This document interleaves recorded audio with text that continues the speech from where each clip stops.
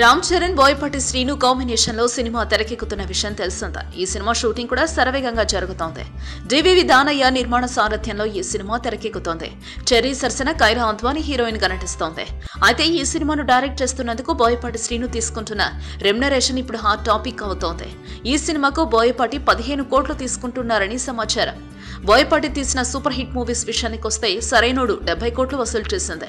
Legend movie నలభై కోట్లు జయ జానకి నాయక ఇరవై ఒక్క కోట్లు రాబట్టింది. దీంతో బోయపాటి అంత రెమ్యునరేషన్ తీసుకోవడం ఆశ్చర్యం కలిగిస్తోందని టాలీవుడ్ టాక్. ప్రొడ్యూసర్ దానయ్యకు మాత్రం బోయపాటిపై బాగా నమ్మకం ఎక్కువట.